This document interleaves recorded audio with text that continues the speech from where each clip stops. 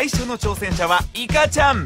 買いに行くのは揚げパンにソフトクリームという大胆な組み合わせが癖になるアイスドッグ。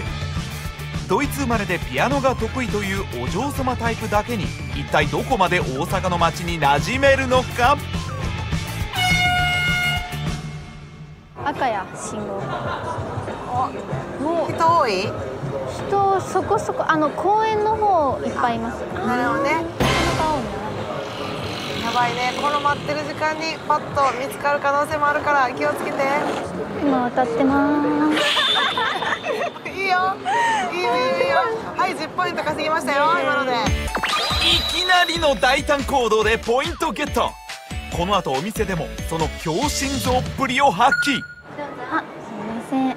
えっとこのアイスドッグを4つ欲しくておいくらですか？1400円1400円。あやばい。1000円しかないんですけど400円って。うまい！大すごい自丈然夫ですかね？難しいです。じゃあ返します。あ一個あの4つ頼みたいんですけど ダメですかね？1000円おばちゃんがめっちゃ深いお待っててわかりまあ大丈夫ですか？すいませんありがとうございます。30ポイントあ獲得。りがとうございますなんと1000円しか持っていないと嘘をついて値切りに成功ちょっと誰かに写真お願いしたいな。あ、ごめん、ちょっといい？あのね、写真撮ってほしいんだ。あ、ダメ。子供に食べるのすごいね。忙しい。あ、ちょっと、あ、あ、ダメだった。あ、あ、メガネ。あここでメガネを取ったということで50ポイントあ、すいません。あの、写真撮ってもらってもいいですか？すいません。すごい。お願いします。捕まえたさあ写真これ成功すれば10ポイント、は顔丸出しで写真撮影に成功。もうイカちゃんの天然は止まらない。あのちちょ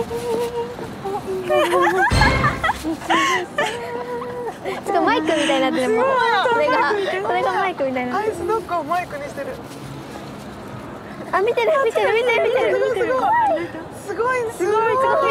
見てる最高です。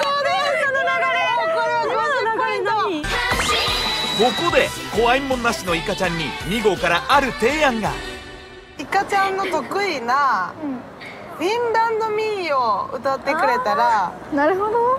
100ポイント差し上げます。お。三角公園の真ん中でフィンランド民謡？